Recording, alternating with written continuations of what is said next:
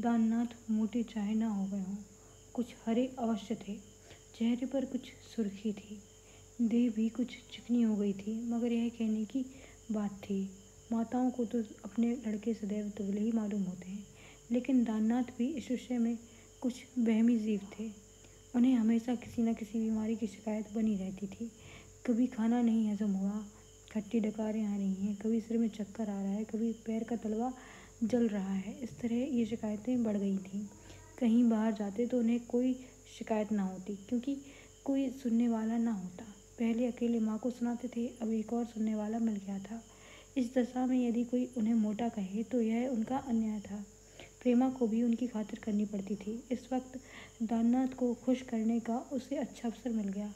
बोली, उनकी आँखों में सनीचर है। दीदी बेचारी ज़रा मोटी थी। रोज़ उन्हें ताना दिया करते थे। घी मत खाओ, दूध मत पियो। परहेज करा करा के बेचारी को मार डाला। मैं वहाँ होती तो लाला जी की खबर लेती। माँ ने कहा, अच्छी देह है उसकी। दाननाथ ने कहा, अच्छी नहीं, पत्थर है। बलगम भरा हुआ है। महीने भर कसरत छोड़ दें तो उठना बैठना दूभर हो जाए। प्रेमा ने कहा, मोटा आदमी तो मुझे अच्छा ही नहीं लगता। देह सुडौल और भरी हुई हो, मोटी तुलतुल देह किस काम की? दाननाथ ने कहा, मेरे साथ खेलते थे तो रुला रुला कर मारता था। खाना खाने के बाद दाननाथ बड़ी देर तक प्रेमा की बातों पर विचार करते रहे।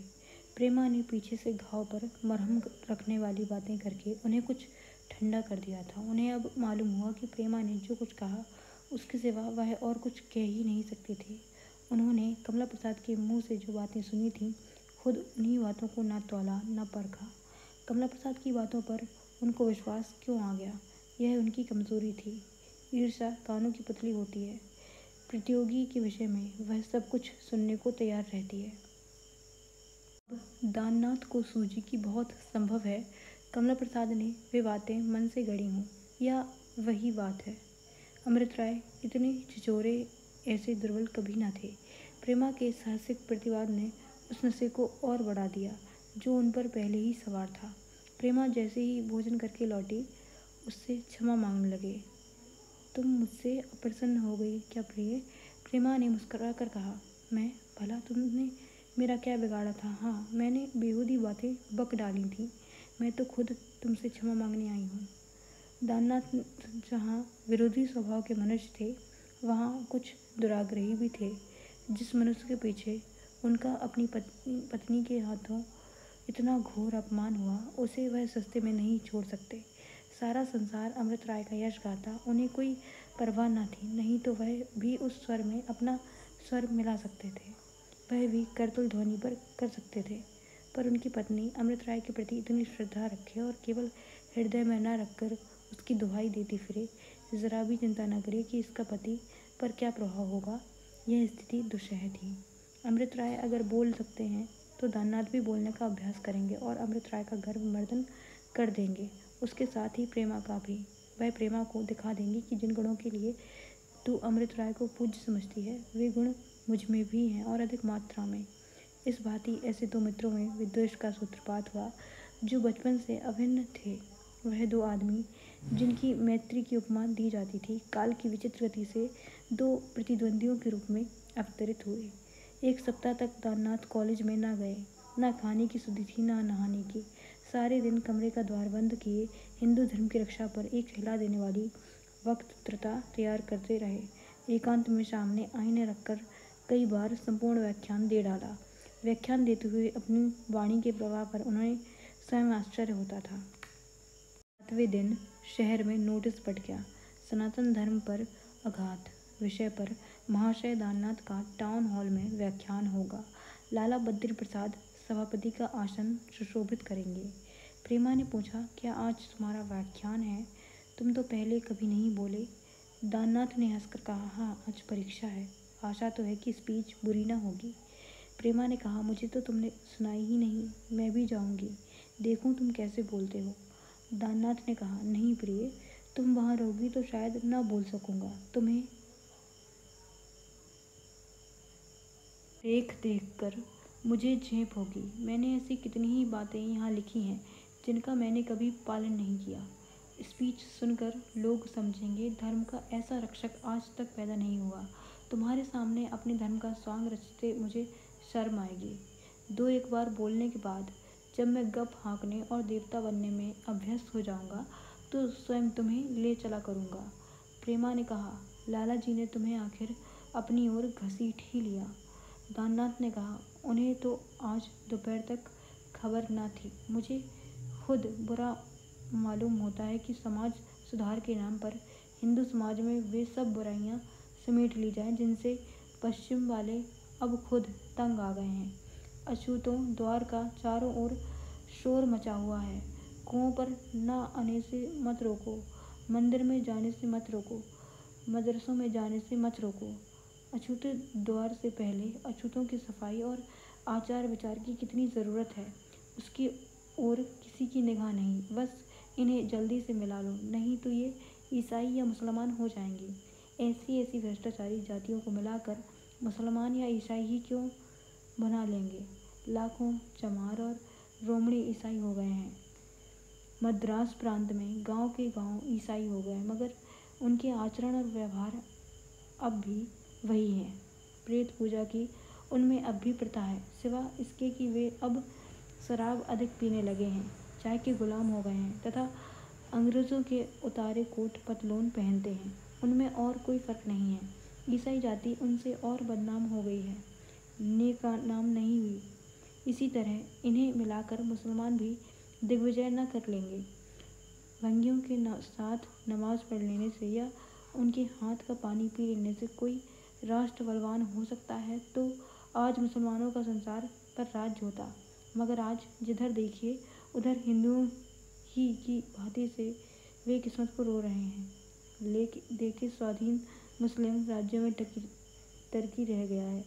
वह भी इसलिए कि यूरोपियन राज्यों में टर्की के बंटवारे के विषय में अभी मतभेद है। मैं कम से कम इतना उदार अवश्य हूँ जितने अमृत राय हैं। लेकिन लेकिन जो नीची जातियाँ मरा हुआ जानवर खाती हैं रात दिन चमड़े के धोने बनाने में लगा रहता है।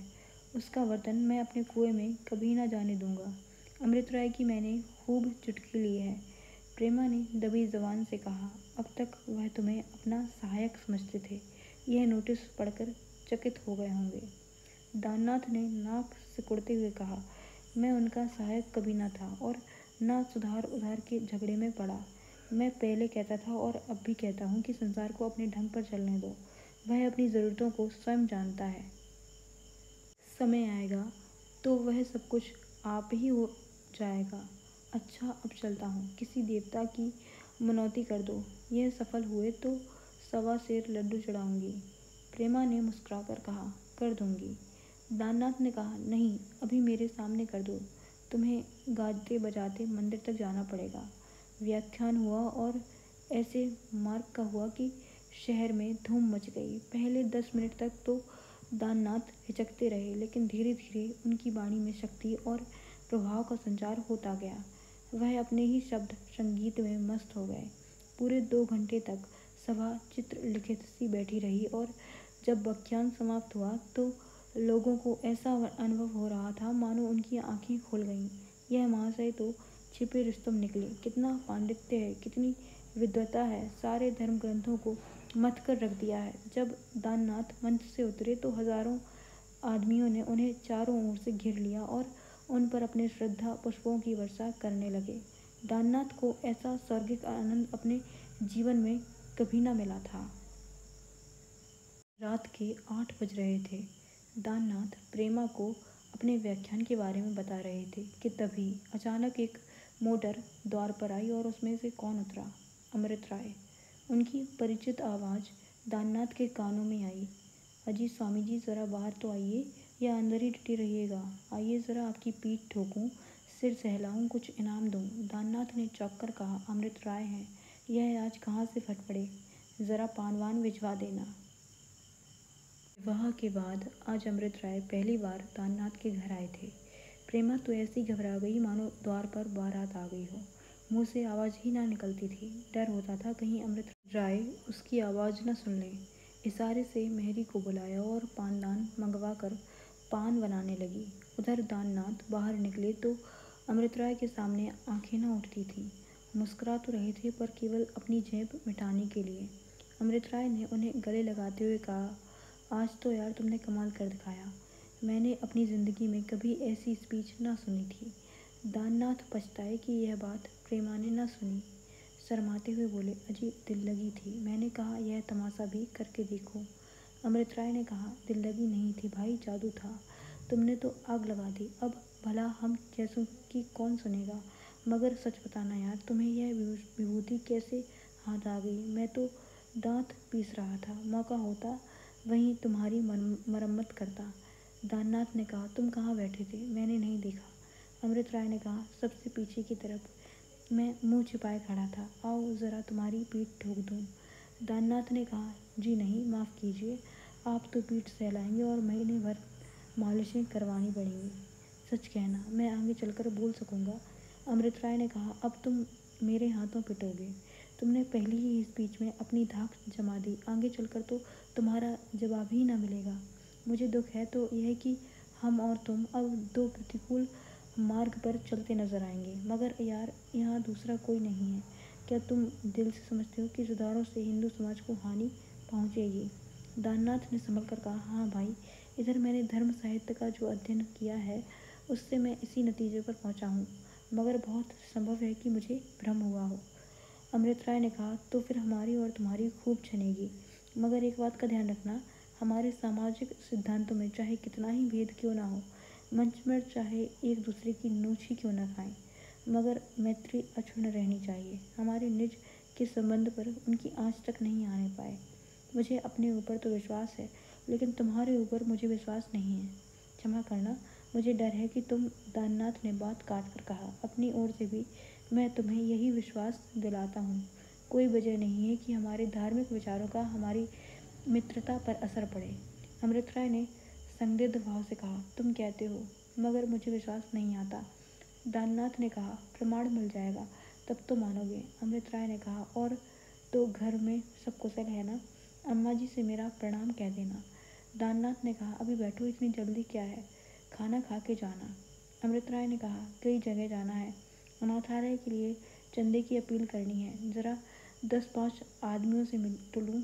भले आदमी विरोधी करना था तो अनाथालय बन जाने की बात करते तुमने रास्ते में कांटे बिखेर दिए। प्रेमा अभी पान ही बना रही थी और अमृत राय चल दिए। दाननाथ ने आकर कहा, वह, अब तक तुम्हारे पान ही नहीं लगे, वह चल दिए।